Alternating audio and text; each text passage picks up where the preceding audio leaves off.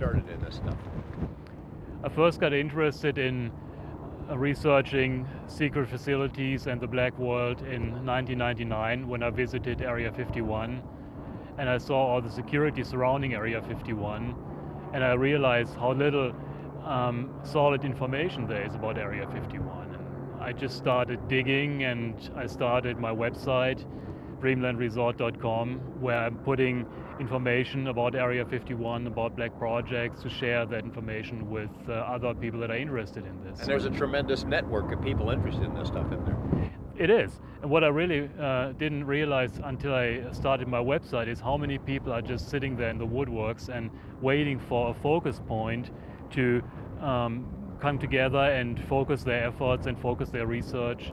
And I was lucky enough that Dreamland Resort became sort of a focus point for all these guys. Describe what's on the what's on the website. What do you got there? The website has a lot of information about Area 51, about Tonopah Test Range, about black projects, about the exercises that take place at Nellis, the red flag exercises. And we have a message board on the website where people can come and exchange their opinions, exchange whatever they figured out or what they think they figured out, and where they can ask questions about Area 51. And we have a discussion, uh, we have a chat room where they can chat with other interested people. So we give them a way of communicating with others that share the same interest. You got a lot of guys who will go out there, like yourself, go out there, look around, take photos from public vantage points, not, not doing anything illegal and then show the rest of the world what it looks like, right?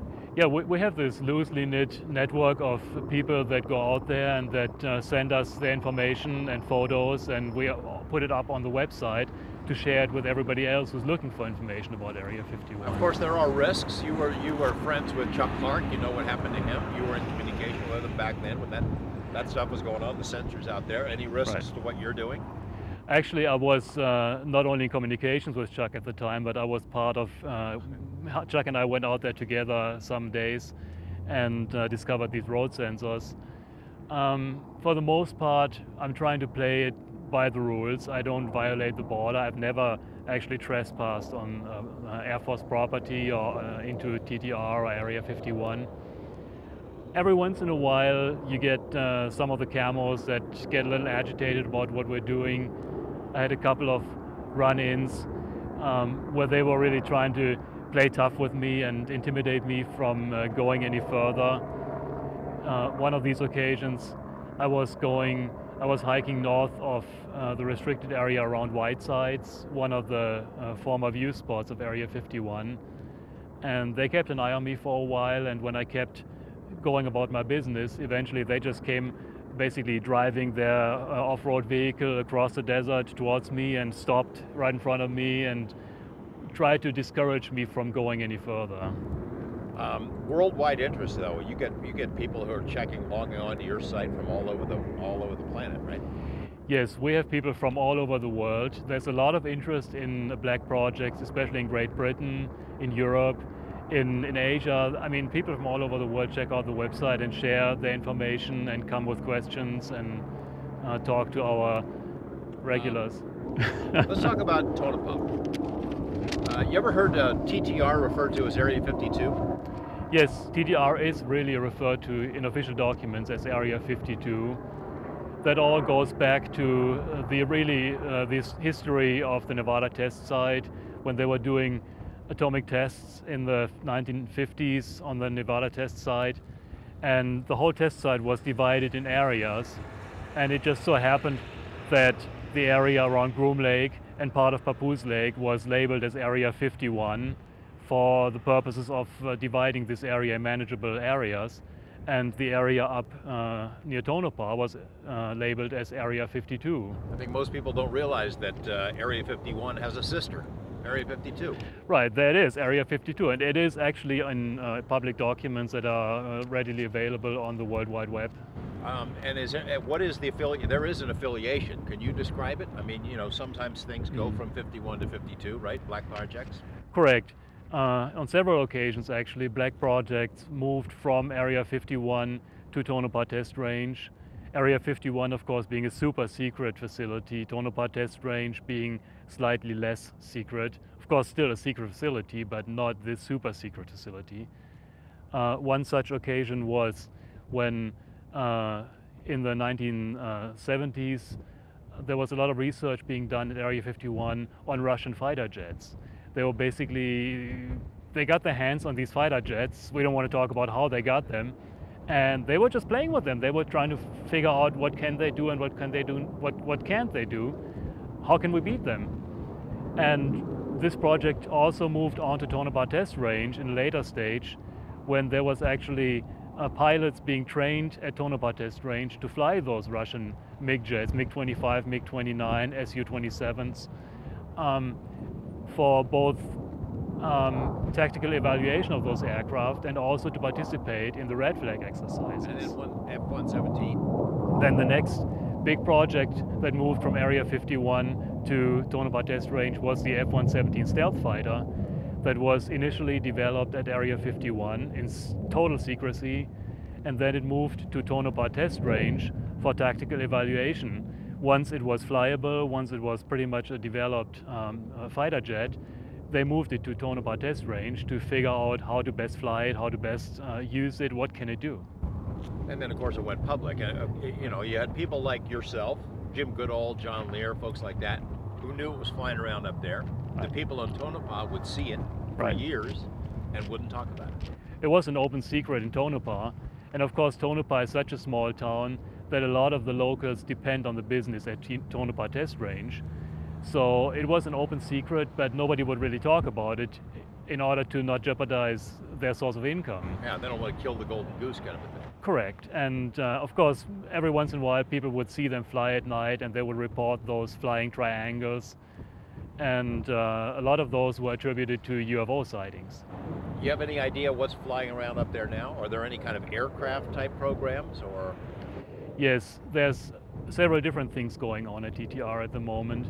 One of the things that are going on there and that have been going on there for a while is um, that they have these uh, huge radar ranges all around Tonopah Test Range where they're doing, where they're basically testing aircraft against different radar sites, a lot of them Russian in origin, where they're basically uh, trying to figure out how, do the, how can the Russians pick up our stealth fighters and what can we do about it, how can we improve the design.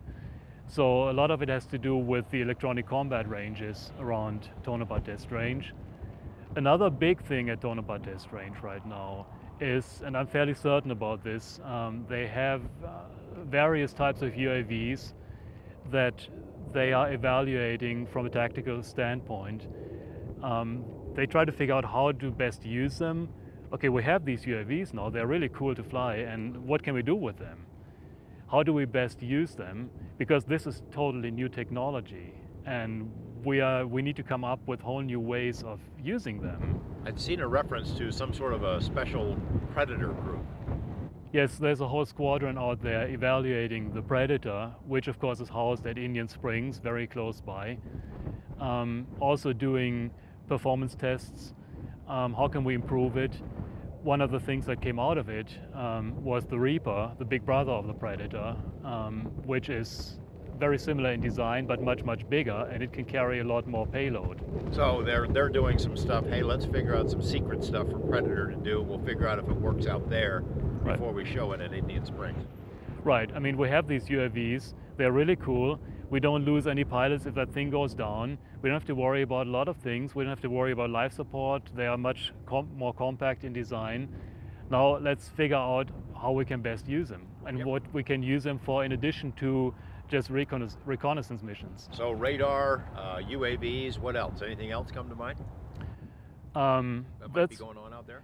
really the, the, the, two big things. Another thing is that uh, uh as of recently, the F-117 stealth fighters have been retired and um, a lot of them are being put in storage at Tonopah Test Range in the same hangars, incidentally, that they were put in when they were first flight tested out there. Yeah, yeah. There's all these there's these rows rows and rows of double hangars along the flight line, that were used for the, uh, they are in a very secure, separate facility of the whole base. And they were used for the uh, F-117 stealth fighters during the 1980s. And that's actually where they end up again now to be put in storage. So if you're there and you're lucky and the hangar door is open, you can see one. You should be able to see right. You see one. Um, you know, it's confusing. As with as is the case with Area 51 for a long time, you can't figure out exactly is it is it uh, Air Force, is it CIA, is it DOE, and all of them have had interest in this thing. Explain who it is that has uh, control over uh, TTR. Unlike Area 51, which is managed by the US Air Force, TTR is managed by Sandia National Laboratories, a private contractor firm, which contracts out its services to various branches of the military and also to the Department of Energy. You've seen over the years that Sandia has done. There's a lot of work done on behalf of DOE at Tonopah on nuclear weapons type things, triggers and that sort of thing, right? That's what they do. That's what Sandia is really big in, in the business of uh, doing the non-nuclear um, parts of a nuke, basically. And this is a great area where they can test these parts because they have not only the Tonopah test range, but then they have the whole Nevada test site in the south of it where they can blow stuff up and nobody even cares. Uh, so it's almost interchangeable. They can they can use Nellis Range. They can use I guess I guess all these guys work together on all this stuff. Sometimes it's DOE, sometimes it's Air Force. Absolutely, they totally work together. They, it's not necessarily that uh, the one hand knows what the other does. There's uh, compartmentalization going on, of course, but they help each other out as much as they can. And so, yes, absolutely, they share their facilities, and uh, a lot of the facilities inside the Nevada test site are really um, managed by Sandia. There's about Sandia. Now, there are some people who refer to Sandia as separate from TTR. Is there any kind of separation? Is there a different facility than what we know as the TTR base and a Sandia base? To the best of my knowledge, there is no separation. TTR, the base that is often referred to as TTR, really is only part of the whole range. Right. The range is managed by Sandia.